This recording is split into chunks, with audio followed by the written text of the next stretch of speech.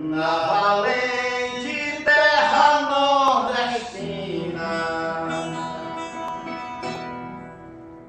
Virgulino Ferreira, vulgo Lampião, iniciou a carreira no cinema antes mesmo de morrer. Como retratou o filme Baile Perfumado de 1996, foi filmado pelo documentarista libanês Benjamin Abraão na década de 1930. Aquele foi o primeiro de uma série de filmes que até hoje continuam e continuarão a retratar suas aventuras pelo sertão nordestino.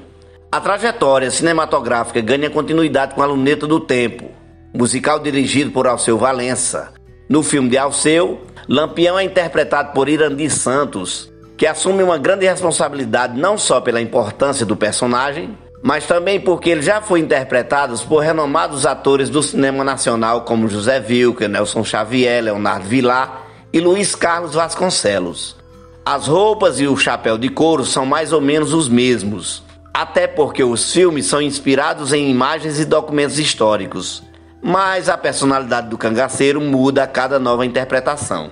Para quem viveu na década de 1980, a imagem de Nelson Xavier é bastante forte no imaginário coletivo, já que ele emprestou o rosto a Virgulino Ferreira em dois produtos de sucesso.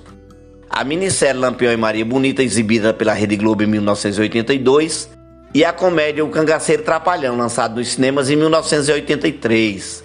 Na década de 1990, Luiz Carlos Vasconcelos assumiu o posto em Baile Perfumado, filme símbolo da retomada do cinema pernambucano.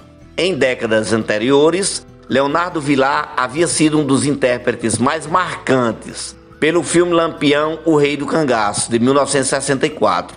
No clássico Cangaceiro, de 1953, premiado no Festival de Cannes, Virgulino oficialmente não aparece.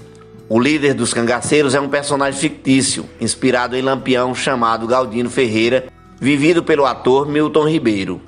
No consagrado Deus e o Diabo na Terra do Sol de 1964, de Glauber Rocha, Lampião também não é retratado. Otton Bastos é o protagonista no papel de Curisco. José Wilker foi Lampião no filme Canta Maria de 2006, filmado em locações na Paraíba e em Pernambuco,